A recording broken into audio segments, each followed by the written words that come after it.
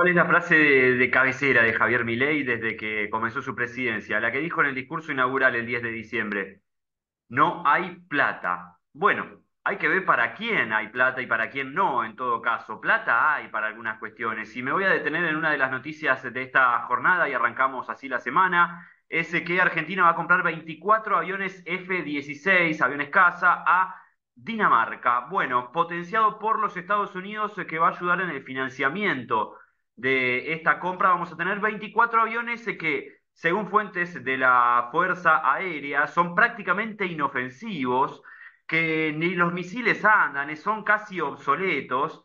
Y eh, se trataría, creo yo, de algún tipo de fenomenal negocio y además una cuestión geopolítica de comprarle a Dinamarca por Estados o vía Estados Unidos y no comprárselos a China, como era en lo que había avanzado el gobierno de Alberto Fernández. Esto va a tensar aún más la relación con el gobierno chino y atención con lo que pueda llegar a suceder con el swap, porque podríamos entrar en default con eh, hoy el máximo acreedor del mundo, que es la potencia china, por las cuestiones ideológicas que al presidente Milei no le gustan del supuesto comunismo de este país. Estoy a favor, recontra, a favor de todo lo que tenga que ver con inversión en defensa, en la defensa de nuestra patria, de nuestra soberanía, y esto lo quiero recalcar porque no me parece que sea un gasto eh, al cohete el de comprar algo así. Ahora, ¿a quién se lo compramos? ¿Bajo qué condiciones?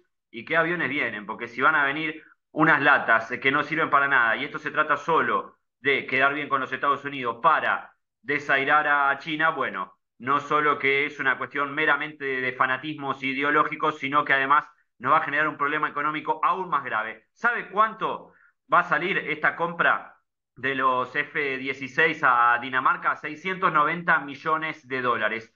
¿Sabe, por ejemplo, cuánto es esto? Tres años del presupuesto total del CONICET. Mientras tanto, los docentes universitarios no están cobrando en los primeros días del mes, ya lo anunció eh, el Ministerio de Economía por una modificación en una norma del Banco Central de la República Argentina, decisión que va a dejar a los docentes sin poder cobrar los primeros días, docentes universitarios, estoy hablando del mes de febrero. ¿No hay plata? Bueno, depende para quién, cuándo y dónde, ¿no? Hasta la próxima.